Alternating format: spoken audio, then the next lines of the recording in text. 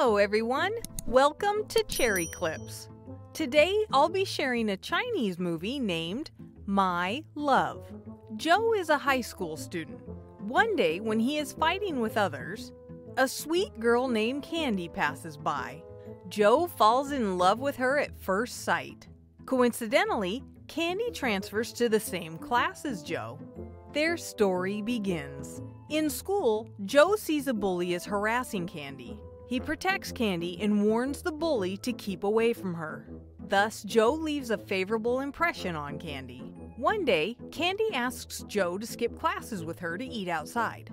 But they are caught by their teacher. In order not to be punished, they run away immediately. Candy tells Joe she doesn't like boys who always fight, so Joe promises he won't fight anymore. One day, out of jealousy, the bully throws a quart of milk on Joe. Joe is angry, but he has promised Candy not to fight again.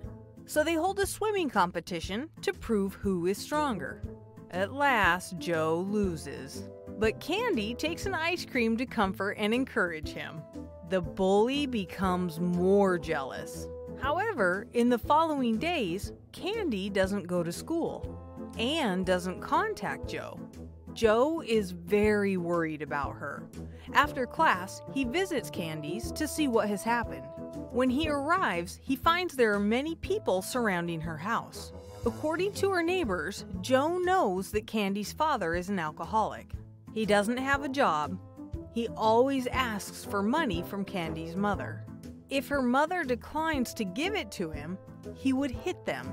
So Candy's mother takes her away to avoid her father. However, this time her father finds them. Candy hasn't gone to school recently because she had to protect her mother at home.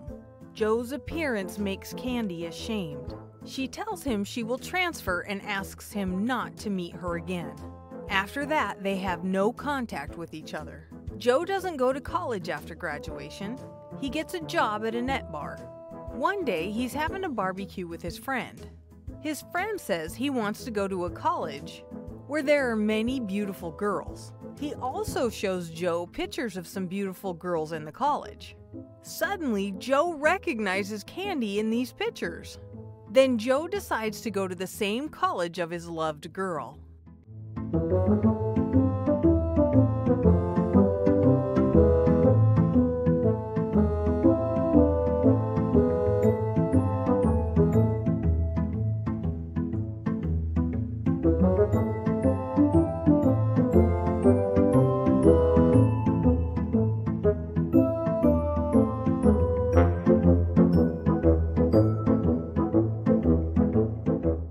With his persistent efforts, he succeeds eventually. Candy is a member of the women's cheerleading club in the college. In order to approach Candy, Joe tries to join the club. However, Candy tells him she has a boyfriend. But Joe doesn't give up. One day, when Joe is playing soccer, he sees Candy and her boyfriend chat happily. Her boyfriend is the leader of the soccer team, who is very handsome. Joe is upset because he thinks he himself has less advantages to compete with her boyfriend. What's more, Candy wants to introduce other girls to him. Joe is unhappy and intends to have a quarrel with her. At this moment, they see a man wrestle with a woman. They think the man is harassing the woman, so they hit the man to help the woman. However, later they are taken to the police station. In fact, the woman is the thief. The man takes Joe and Candy for her company and calls the police. In the prison, Candy tells Joe she really loves her boyfriend. She asks him to not pursue her. Hearing that, Joe decides to give up. Afterwards, he is low every day. One day, Joe suddenly remembers it's Candy's birthday. He calls Candy to wish her happy birthday. Candy says she is resting at the dormitory because she's uncomfortable. After hearing that, Joe buys lots of fireworks. He makes a fireworks show near Candy's dormitory to celebrate her birthday. Many students gather together to appreciate the beautiful show. Some of them play guitar and sing songs, creating an atmosphere of a live concert. Looking at the romantic scene, Candy smiles happily. Later in the library, Joe catches sight of Candy's boyfriend accosting another girl. In fact, he is a playboy who has improper relationships with other girls. Then Joe tells it to Candy, but he has no evidence. Candy doesn't believe him. Joe wants to help Candy get revenge on her boyfriend. So he angrily runs to the playground and violently hits her boyfriend who is playing soccer. Afterwards, Joe and Candy graduate. Joe has a girlfriend. He becomes a member of the national swimming team and will participate in a national competition. To be honest, his future is bright. One day on the street, Joe meets Candy again. He sees Candy enter a coffee shop with a man. He follows her and finds she is shooting. He says hello to Candy. Candy is also happy to see him and invites him to have a coffee after work. Candy says she's become a model and gets a job shooting advertisements. She is still single after breaking up with her ex. During their conversation, Candy receives a call. She is told that the driver who will take her to her shoot couldn't work tomorrow because of an emergency. At this moment, Joe says he is free, thus, he can drive her to the site. Later, Joe becomes Candy's driver.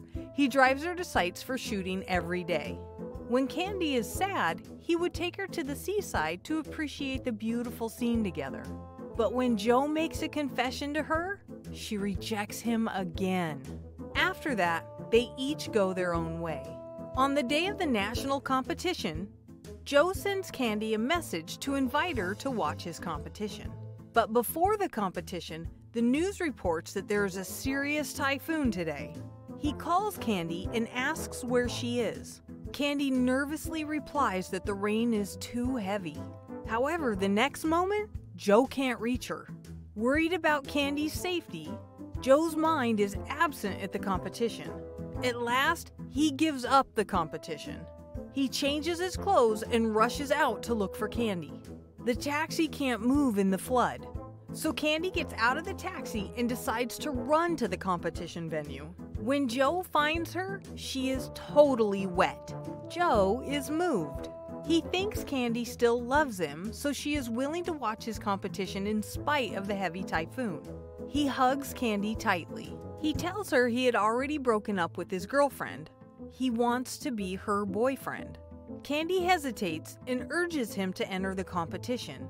However, when she runs to a building, a signboard abruptly falls down. Seeing it, Joe immediately comes and protects her in his hug. Then he is hurt and taken to the hospital. Candy is very moved. She decides to date him. At first, they lead a happy life. They live together.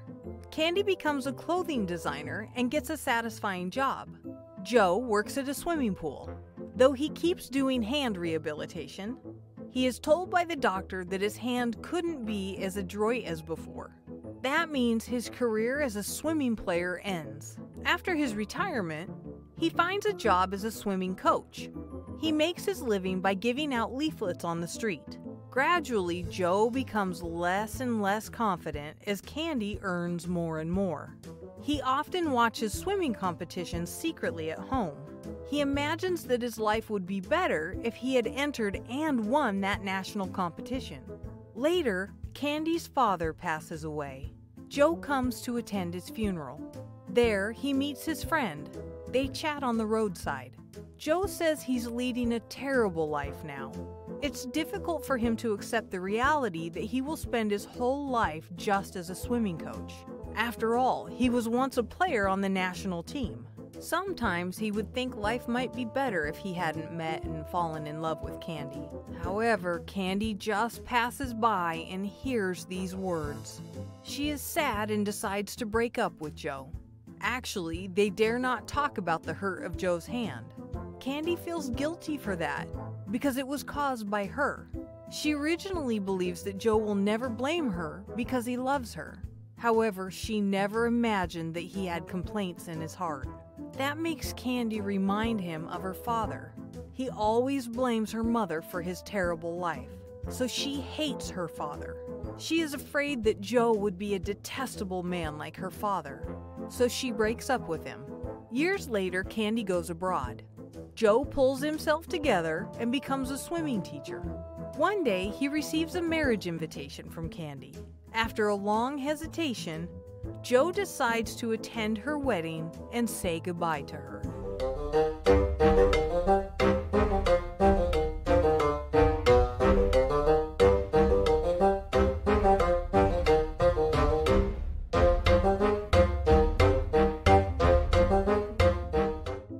Expresses his thanks to Candy for her appearance in his life. He gives his best wishes to her. At last, Joe walks out of the wedding venue in clothes which Candy had designed for him with his image. Then the movie ends.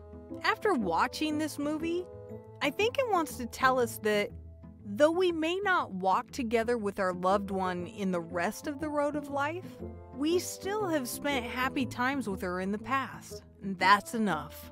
Okay, that's all for today's movie. If you enjoy this video, please don't forget to hit the like button, share, and comment. Thank you, and I'll see you next time.